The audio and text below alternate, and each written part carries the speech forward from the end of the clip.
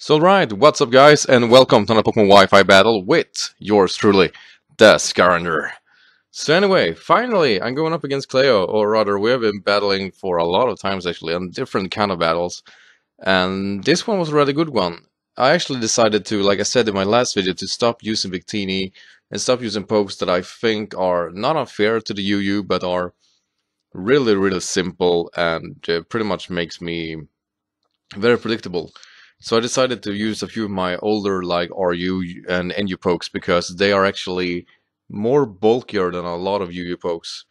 So I still use UU, uh, Empoleon and uh, well my Ampharos are most definitely UU pokes.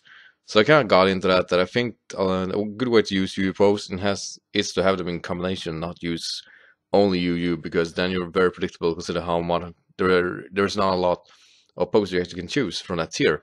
So anyway, look at the Cleo's team here. She is using actually just almost a fully like lower tier team too, with the only like uh, exception being Mew, Kingdra, and Krookodile. And this is a very interesting battle because I did think we had both like uh, our good share of moments here, and it played out really well. Uh, so I enjoyed it, and I think this is one of the better battles I got this week. So yeah, let's actually get to it.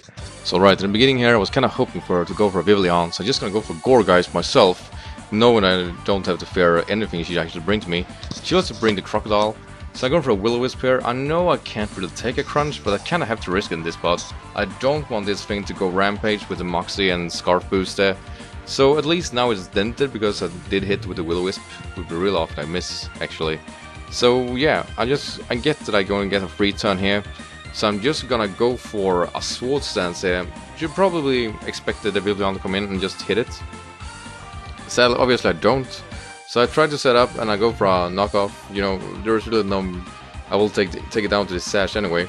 So yeah, the Bug Buzz will do a, a lot of damage there. Then, like I said, there's really nothing I can do. Uh, I had to accept that.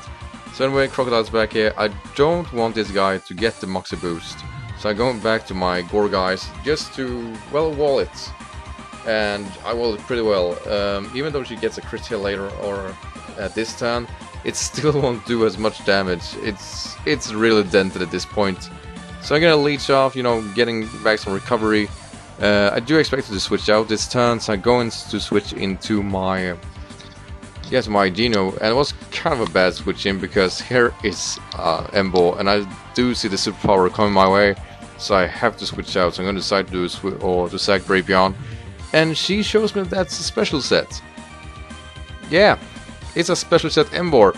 I did not see that one coming. So anyway, I know that uh, my Flygon, my Ampharos can deal with that because of the Dragon typing.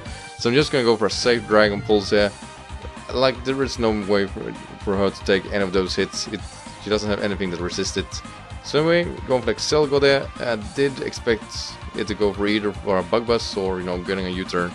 So I'm just gonna go for Power Gem, hope for the best, and well that didn't work obviously. So Mew is here, and Mew can use Metronome. Yeah, so go for Vacuum Wave. It wasn't it doesn't do that much, but hey, it's a Vacuum Wave. So anyway, she thinks I'm gonna go for another Thunderbolt, so I should go for Transform. But I decided to, um, I'm such a good position that I can set up agility, and then now I'm faster. So yeah, she probably could have taken a Thunderbolt uh, with that transform, which would work in her favor with Retaliate with Dragon Pulse, but I got that well. So anyway, Accelgor will show to be 4 points faster than me and go for Final Gambit and take me out. Yeah, that that just happened I was so like surprised there, like no way, it took me out. So yeah, now I have nothing really to take on um, her Kingdra, so I'm going to um, deal with this um, Ember rather well actually. There's really nothing you can do because I'm especially defensive. Uh, so she's gonna decide to switch out to get a free switch into Kingdra, which is her last Pokemon, and I'm just gonna go for a knockoff here, expecting her to go for a Focus Energy so at least get that uh, scope lens off, so I'm in a good position. So I'm gonna go for a Scald afterwards. It might seem kind of weird, but I was kind of betting on the hacks there because um, two crits is going to kill me for sure. And obviously that crit did well over 50%.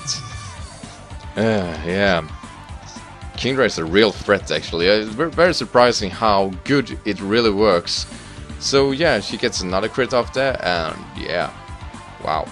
So anyway, I'm gonna go to my Gourgeist there, and there's really nothing she can do. She needs to get a crit to get um, a crit to take me out, and that will sadly not happen. Um, so uh, yeah, this will be GG. So thank you, Claire, for this game. I mean, I'm really glad that we got a battle here that actually was worth uploading.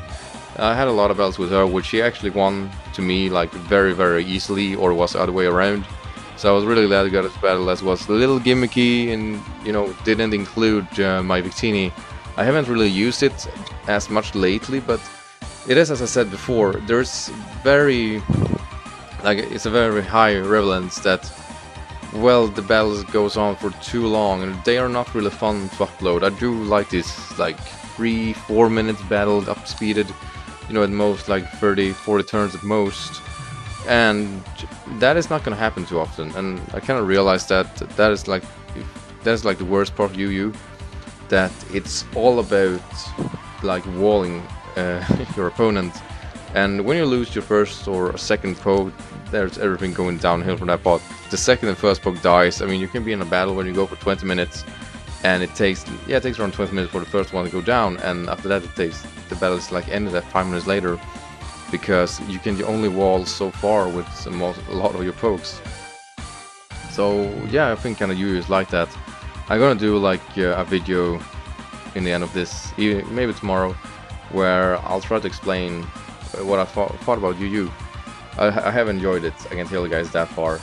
Um, not a big fan of the longer battles, but I mean, I'm I'm pretty guilty of that myself because I'm, I'm playing such a defensive playstyle.